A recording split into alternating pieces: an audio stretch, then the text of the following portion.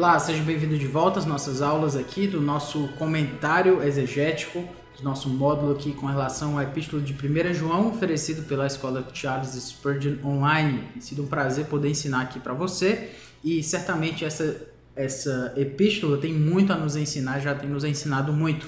Nos últimos módulos, além da apresentação da primeira aula, uh, nas duas últimas aulas a gente apresentou uh, questões relacionadas à primeira, segunda e terceira João, ou seja, uh, como a epístola de 1 João se relacionava dentro dessas outras duas cartas, né? Desse conjunto de cartas, dessas três cartas. E um dos pontos elementares ali que a gente abordou foi exatamente esse, de que a carta de 1 João é como uma espécie de circular entre as igrejas e que segunda e terceira João seriam cartas de acompanhamento. Ou seja, 1 João é mais densa, tem um pouco mais de conteúdo, mais critérios, tanto para defender a fé contra os falsos mestres e também para assegurar, né, para dar segurança à fé dos cristãos. Uh, então, é, era essa carta, 1 João é essa carta de, uh, vamos dizer assim, de uma explicação maior e depois nós vamos para 2 e 3 João, que é exatamente esse acompanhamento, né, que se segue aí depois desse ensino mais complexo. Portanto, tendo já analisado isso, a gente vai seguir agora para as questões introdutórias relacionadas ao livro de 1 João, que já são questões do livro em si, não somente da relação do livro com as outras cartas, da carta com as outras cartas, mas agora as questões relacionadas à própria carta de 1 João. Então é isso que a gente vai analisar a partir do próximo slide, então. Ah, quando a gente trata de uma introdução né, no comentário, a primeira coisa que a gente passa a analisar, aliás, uma das primeiras coisas, né, é exatamente essa ideia de autoria, ok? É quando a gente pode entender como foi, aliás, quem foi o autor da carta. Uh, e se você não é tão habituado a pensar em termos de comentários, uh, é bom a gente analisar um pouco isso para não ficar confuso, certo? Uh, quando a gente pensa em termos de comentários, normalmente os comentários eles às vezes mostram que algumas pessoas não creem que o livro que foi escrito por tal autor foi escrito de fato por aquele autor. Explicando melhor, muita gente vai dizer que o livro de Romanos não foi escrito por Paulo, foi escrito por outra pessoa e aí se deu ali o nome de Paulo. Essas pessoas muitas vezes vão buscar algumas razões para mostrar que esse livro não foi escrito por Paulo. Por exemplo, uma razão comum é dizer, olha, essa, essa epístola aqui de Colossenses, por exemplo, ela também é dita que foi escrita por Paulo. Contudo, ela não apresenta aí todas as questões relacionadas a Paulo, ou seja, é uma escrita muito diferente, tem um vocabulário diferente, um estilo diferente. Não pode ser o apóstolo Paulo que escreveu essas duas, a mesma pessoa para escrever essas duas cartas, né? Essa é uma, uh, é uma explicação comum que as pessoas acabam incorrendo, né? E um erro também. Por quê? Porque um autor pode escrever em mais de um estilo. Existem autores que escrevem em estilos diferentes. Por exemplo, Fernando Pessoa, o escritor português, ele escrevia, além de como ele escrevia assinando né, sua própria obra, ele tinha os heterônimos. Você lembra aí das aulas de literatura da escola? Os heterônimos de, de Fernando Pessoa, um deles era, era Ricardo Reis, se eu não me engano, e uh, não estou lembrando exatamente, Alberto Caeiro, esse também. Então, uh, quem analisa lá a obra de Fernando Pessoa e vai para os seus heterônimos, percebe que quando ele assina como Alberto Caeiro, ele tem algumas características específicas. Quando ele assina como uh, Ricardo, agora Ricardo Reis, eu acho, né? Uh, e aí ele vai lá e passa por uma outra, um outro estilo, uma outra forma. E às vezes ele assina como ele mesmo, e aí tem uma forma ainda diferente. Então, com isso a gente percebe que não precisa se ser um somente autor para escrever a mesma, aliás, não precisa se ser diferentes autores para escrever em estilos diferentes. O mesmo autor pode ter capacidade literária para escrever em mais de uma, de uma forma, com mais de um estilo, dependendo aí da sua circunstância e da forma como ele deseja escrever. Então, com isso, o que, que a gente percebe? A gente percebe que essa questão de autoria é uma questão importante de ser analisada, porque quem foi que escreveu e como é que a gente pode entender quem foi esse escritor aí. Uma das formas de buscar entender sobre a autoria do livro é buscar entender a sua evidência interna. O que é a evidência interna? Como o nome já está nos dizendo aqui, a ideia de interna está ligada à ideia do livro. Ou seja, dentro do livro, vamos buscar dentro do livro o que é que se diz sobre esse autor. Porque a gente vai falar sobre a evidência externa, que é exatamente questões fora do livro, ou seja, questões históricas, questões de documentos, e assim a gente pode analisar um pouco fora do livro, mas dentro do livro já existem pistas que vão nos indicar quem é esse autor. Então, uh, esse autor de 1 João, ele escreve então como um indivíduo, certo? Como assim? Ele escreve como uma pessoa que está dizendo com relação a outras. Ele diz refere-se a si mesmo na primeira pessoa do singular, às vezes como primeira pessoa do plural, a gente vai notar essa diferença também, mas muitas vezes como primeira pessoa do singular, ou seja, ele diz eu. Por exemplo, quando ele diz filhinhos meus, ora, quando ele está dizendo meus, primeira pessoa. Esta, co esta coisa vos escrevo. Se você lembra do português, aqui há um pronome, é, um pronome oculto, né? um sujeito oculto. Eu, eu escrevo para que não pequeis. Se todavia alguém pecar, temos. Aí aqui ele já passa para o nós, porque ele está se referindo a ele e às pessoas, né? Junto ao Pai, Jesus Cristo, o justo. Então, filho meu, primeira pessoa do singular. Ele está se colocando aí na situação. Amados, não vos escrevo. Da mesma forma que eu, eu escrevo mandamento novo, senão mandamento antigo, qual desde o princípio tivestes. Esse mandamento antigo é a palavra que ouvistes. Ou seja, aí nós temos a primeira pessoa do singular. Eu escrevo a vós, ou seja, eu escrevo para vocês. Eu, esse indivíduo é colocado então como primeira pessoa do singular. Um outro, a gente teria outros exemplos aqui quando ele diz: Não vos escrevi, lá em 1 João 2,26, não vos escrevi porque não saibais a ver, não vos escrevi porque não saibais a verdade. Então não vos escrevi, eu escrevi aí no caso com relação ao passado, né? Então com isso você percebe a primeira pessoa. Teria outros exemplos, mas esses aqui são suficientes para notar essa primeira pessoa do singular, eles colocando como indivíduo, né? Uh, agora, com relação à evidência externa, ou seja, fora da carta, algo que nos diga fora da carta sobre o autor da carta.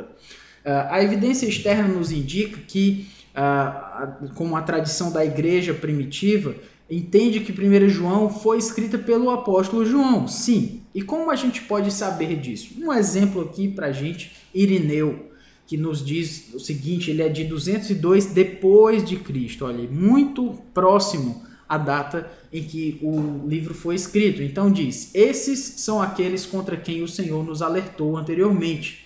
E seu discípulo em sua epístola antes mencionada nos ordena a evitá-los quando diz: "Pois muitos enganadores têm ido ao mundo, os quais confessam que Jesus Cristo não veio em carne. Esse é um enganador e um anticristo. Então, aqui você percebe o Senhor nos alertou e o seu discípulo, você lembra lá do discípulo amado, né? Em sua epístola. E aí você diz: Pois muitos enganadores têm ido ao mundo, lembra? Ido do mundo fora, né? O texto de 1 João 2, se não me engano, os quais confessam que Jesus Cristo não veio em carne. Então, Irineu, em 202 depois de Cristo, está falando com relação à epístola do discípulo de Jesus e cita a epístola de 1 João. Então, a evidência externa, fora do livro, no caso Irineu, nos traz que uh, essa carta foi escrita sim pelo apóstolo João, o que já é um grande, vamos dizer assim, já é uma grande evidência, já é uma mostra muito clara de que o que nós temos é verdadeiro, né? de que o que nós temos é alguém realmente uh, escrevendo numa época antiga, bem próxima ao tempo em que foi escrito, e com relação a uma citação e dizendo esse livro foi escrito pelo discípulo de Jesus na sua carta. Enfim, acho que você já entendeu. Algumas outras pessoas, Dionísio de Alexandria, Tertuliano e Papias, também citam, certo, uh, o, o apóstolo João como escritor da carta, certo? E nisso já nos dá, já dá para a gente poder entender aí o, um, uma. Eu não trouxe aqui citações de todos eles porque uh, eu achei que a de Irineu já seria suficiente, mas esses aí citam, certo? Também, mais ou menos como Irineu, o apóstolo João como aquele que escreveu a carta de 1 João, que nos é uma evidência externa bem suficiente. Bom, uh, com relação aos destinatários, primeiro a gente precisa lembrar: 1 João não tem a abertura comum com saudações a quem a carta é designada. Você pode lembrar, por exemplo, é, uma carta, por exemplo, se nós pegarmos o livro de Efésios, no capítulo 1, começa assim: uh, Paulo, apóstolo de Cristo Jesus, por vontade de Deus, aos santos que vivem em Éfeso e fiéis em Cristo Jesus. Por exemplo, essa é uma carta que começa como se fosse com um cabeçalho. Já diz que é Paulo que escreve, né? Ele é apóstolo de Jesus Cristo por vontade de Deus e diz o destinatário aos santos que vivem em Éfeso e fiéis em Cristo Jesus. Ele diz quem, é, quem ele é, uh, o que ele faz e para quem é que ele está escrevendo. É uma excelente, é um excelente início, né? um excelente cabeçalho de uma carta. No caso de 1 João, não temos essa explicação tão cuidadosa. Não é que é, tem que usar melhores palavras, né? Não é que 1 João foi descuidado, uh, que, não é que João foi descuidado em sua carta, em sua primeira carta, por não colocar ali esse cabeçalho, vamos dizer assim. Na verdade, esse era um foco específico, era um objetivo específico. A epístola de 1 João ela foi escrita com um objetivo específico em que quando se tem uma circular como essa, não se é necessário uh, especificar o destinatário, porque são destinatários muito genéricos, vamos colocar assim. Ou seja, não estou dizendo essa carta vai para esta igreja, vai ser lida lá especificamente. Não, é uma carta que vai circular. Eu estou escrevendo para ela circular.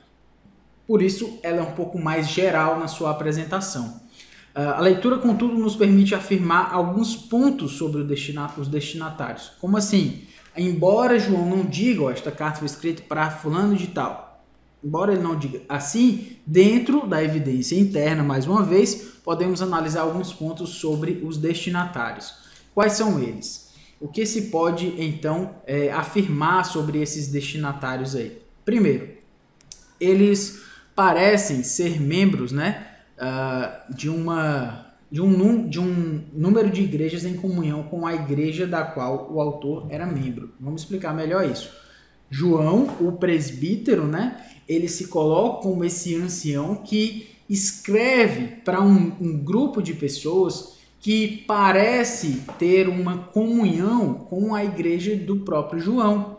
Quando ele vai escrever a sua carta, a gente percebe algumas questões que, que mostram: olha, você vai receber fulano de tal, ele falou bem de você. Ou seja, quando ele está falando isso, ele tá, nos faz entender que a pessoa que vai ler do outro lado o conhece e conhece aquela comunidade da qual ele, João, faz parte. Então, como eu falei já no início, eh, nas outras aulas, havia uma espécie de comunidade para quem João fala, né? uma comunidade joanina, como se pode usar. Eles estavam encontrando pessoas que haviam saído da igreja do autor e que estavam propagando uma forma aberrante de uh, do evangelho, né? uma forma aberrante de evangelho. Ou seja, uh, eles essas pessoas para quem João escreve estavam encontrando quem estava pregando um evangelho diferente que saíram da igreja de João. Por exemplo, quando nós temos aqui, eles saíram do nosso meio, então significa que eles estavam lá no meio da, da igreja que João fazia parte. Não eram dos nossos. Se não tivesse, se tivesse sido dos nossos, teriam permanecido conosco e por aí vai. Ou seja, Uh, no caso ele diz tem surgido, então parece que surgiu lá entre eles, né? Uh, e nesse sentido a gente vai percebendo que são pessoas que saíram do meio lá, provavelmente então da igreja lá de João, e essas pessoas que saíram da igreja de João estão fazendo estrago aí nas outras igrejas. João tem que tomar uma iniciativa, trazer uma reação para isso, e a sua reação são as suas cartas. Os leitores já haviam ouvido a mensagem do evangelho, incluído a ordem fundamental de amar os irmãos e irmãs em Cristo. Como é que a gente sabe disso? Porque uh, muitas vezes João traz essa ideia aqui, ó, Amados, não vos escrevo um mandamento novo, senão um mandamento antigo. Eles já conhecem isso, o qual desde o princípio tivestes. Permaneça em vós o que ouvistes desde o princípio. Se em vós permaneceu o que desde o princípio ouvistes. Ah, porque a mensagem que ouvistes desde o princípio. Ou seja, essas expressões nos fazem entender que eles já ouviram, já tinham ouvido sobre a mensagem do, uh, de Cristo, né? a mensagem do Evangelho de Cristo, e eles, inclusive, um desses ensinamentos que eles já tinham recebido era exatamente amar uns aos outros, como algo fundamental, como a gente inclusive lembrou na última aula. É importante lembrar também que essa mensagem ela já havia impactado a vida deles, ou seja, eram pessoas que tinham ouvido desse evangelho e já tinham sido transformadas pelo evangelho. Eles conheciam a verdade do evangelho, uh, que veio para levar o pecado dos homens, que Cristo veio para levar o pecado dos homens e que haviam sido ungidos por Deus, né? escolhidos por Deus para uma função específica. Então, todavia vos escrevo novo mandamento, aquilo que é verdadeiro nele e em vós, porque as trevas se vão dissipando e a verdadeira luz já brilha, certo? Ou seja, uh, eles já eram crentes, essas pessoas para quem ele escreve. Não vos escrevi porque não saibais da verdade, eles já conhecem, uh, desculpe, eles já conhecem, então uh, João está escrevendo para pessoas que já ouviram, já foram transformadas. Sabeis também que ele se manifestou para tirar os pecados, então eles já sabem disso. Vós possuís a unção que vem do santo, ou seja, pode-se afirmar que eles já tinham sido impactados pela mensagem do Evangelho de Cristo. Um outro ponto aqui que a gente precisa lembrar é que o autor tem uma afeição especial, é importante lembrar disso aqui, ó, por seus leitores, chamando-os de agapetoi. A palavra em grego é essa palavra aí mesmo, né? Amados, e, e, essa palavra indica exatamente uma ideia de afeição, de uma certa proximidade. E não só uma proximidade, mas um amor, obviamente, que João nutria por aqueles a quem ele escreve. Um amor pastoral, né? um amor de um cuidado de quem se preocupa, de quem uh, quer saber como o outro está, enfim, de quem se preocupa com a fé daquelas pessoas. Então, João escreve para os seus amados, e é assim que ele se, se direciona a eles, né? Amados, não vos escrevo um mandamento novo. Também da mesma forma, amados, aqui é a palavra agapetoi. Agora somos uh, filhos de Deus. Você, inclusive, pode lembrar da palavra agapetoi, de onde vem a palavra agape, que é a palavra grega para amor. Então, agapetoi, amados. Amados, se o coração não nos acusar, temos confiança diante de Deus. Amados, não deis crédito a qualquer espírito, antes provai os espíritos. Então, todos esses textos de 1 João nos fazem perceber que ele tinha um amor pastoral por esses irmãos. E é muito interessante isso, algo que a gente inclusive já pode é, trazer para as nossas vidas. João escreve para eles a verdade, manda que esses irmãos amem uns aos outros, faz inclusive dessa mensagem de amor como uma base, como aquilo que resume o evangelho, a mensagem do evangelho e chama esses irmãos de amados, não porque ele simplesmente quer dizer que ele ama também, mas é porque ele realmente ama, ele tem essa afeição, esse cuidado, esse amor pastoral, esse amor de um presbítero, né, como ele mesmo se coloca, com relação a esses irmãos aí. Uh, Além disso, ele chama esses irmãos de adelphoi. Adelphoi é uma palavra grega plural para adelphos, que é uh, irmão. Adelphos, irmão, adelphoi, irmãos, né? No grego funciona assim. Então, muitas vezes ele utiliza essa expressão aliás, não sei se muitas vezes, mas ele utiliza essa expressão para uh, irmãos, certo? Que é exatamente adelphoi. Então, irmãos, não vos maravilheis. Caime thalmadzete adelphoi. Irmãos, irmãos, aqui está a palavra adelphoi. Adelphoi aqui é a sua forma, vamos dizer assim, transliterada. Então, se ele chama aqueles a quem ele escreve de irmãos, é porque, obviamente, ele os tem como filhos de Deus, como irmãos em Cristo, que foram impactados pelo Evangelho, que precisam é, ser assegurados na sua fé. Uma outra forma como ele os chama tem a ver com essa proximidade, mais uma vez, mas esse tom normal, novamente de uma paternidade espiritual, chama-os de filhinhos, né? A palavra é tecnia, uh, o que indica uma espécie de paternidade espiritual. Um presbítero lá, alguém mais velho, um ancião, uh, por quem as pessoas que o ouvem têm um certo, uma certa reverência, né? um certo respeito ok, com relação a ele. Ele os chama de filhinhos. A palavra tecnia tem a ver com esse é, um diminutivo, inclusive, né? Então traz essa ideia aí de filhinhos, filhinhos meus. É, é essa ideia mesmo, é muito bem traduzida essa expressão. Filhinhos é uma proximidade, uma paternidade espiritual que, uh, que João nutre por aqueles irmãos. Então ele diz: Filhinhos meus, estas coisas vos escrevo para que não pequeis. Se todavia alguém pecar, temos advogado junto ao Pai, Jesus Cristo o justo, filhinhos. Então, não só filhinhos, mas filhinhos meus. São duas palavras aqui. Tecnia mu.